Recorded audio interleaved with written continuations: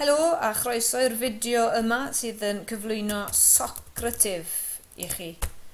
Felly, os ewch chi i Socrative, naill ai drwy Google neu ble bynnag, cliciwch i fynd i'r wefan. A rheswm dwi'n hoff iawn o Socrative yw, wel un o'r symau, yw achos bod e yn bosib i uh, ddisgyblion a thrawon i ddefnyddio Socrative ar unrhyw ddyfais. Iawn, felly bod ar gliniadur, ar gyfrifiadur, ar iPad, ar unrhyw ffôn smart, boed yn Android, yn, yn iPhone neu beth bynnag. Iawn, lle mae hyn ar gael ar unrhyw, um, unrhyw ddyfais sy'n medru cysylltu gyda'r we. Lle i chi, ewch chi sign up i gyfrestru, rhowch eich e-bost mewn fyna yn ogystal â chyfrinau'r mi fyddwch chi yn cofio, a wedyn ewch chi greu eich cyfrif. E, Dilynwch y camau trwyddo wedyn i'r man um, ble fyddwch chi'n cyrraedd y dudalen flan fel bethau. Dwi'n mynd i um, mewn bod ni'n wybodaeth yn syth fan hyn.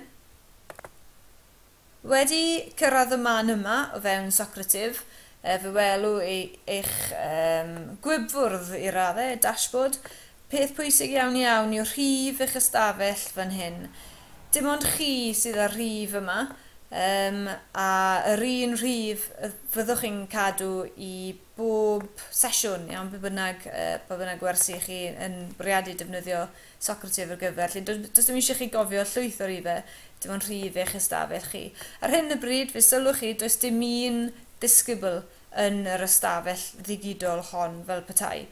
E, Byddai'n gosod chi yn y fideo yma yw fel i creu cwiz neu prawf.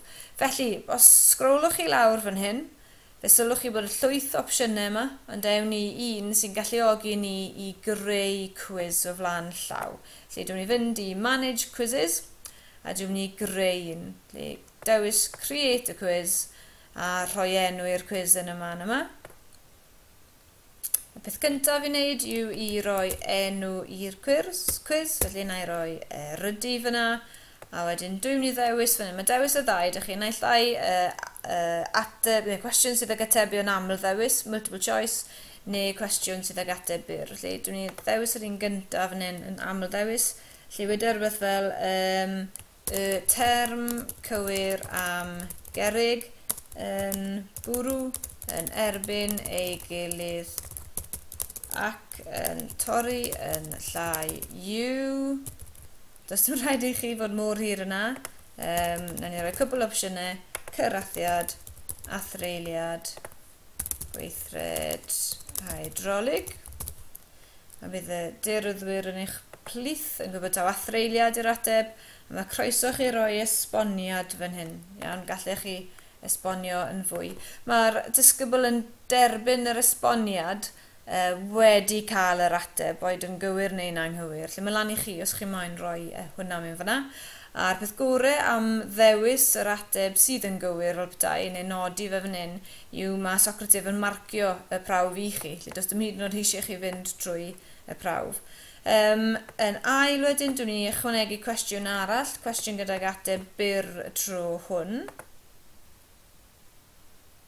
I'r cwestiwn mwy agored, dwi'n ni'n nodi rhywbeth ar eid llunellau. E, nodwch y term cywir am donnau yn bwrw. Neu wedyn ni bwrw cerig yn erbyn clogwyni gan yr ydy'r graig.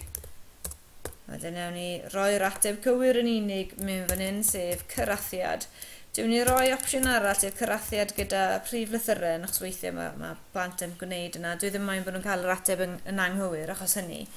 E, eto, mae croeso i chi roi esboniad mewn fyna. I beth arall, e, lyflu, sy'n opsiwn i chi, yw chi'n medru roi e, e, llun mewn, lle dwi'n ni ddewis llun sy'n mynd gyda hwnna a mae'n llwytho fe, felly bydd hynny yn rhywfaint o help i'r disgyblion. Lle dyna fe, dwi'n ni uh, arbed hwn fan hyn, iawn, sef, a dyna'r cwiz wedyn. Mae yna opsiwn i, i rannu'r cwizys yma gyda thrawon eraill, fel bod nhw'n gallu llwytho nhw, ond na i anwybyddu na am y tro.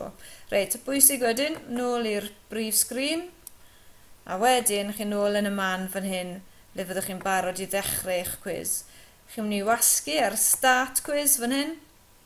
Dwi'n mynd yn gyflym nawr os mae'r yn dod i ben. A wedyn dewis naill ai student paste quiz neu teacher paste quiz. Drychwch ar y fideo nesaf am fwy o wybodaeth.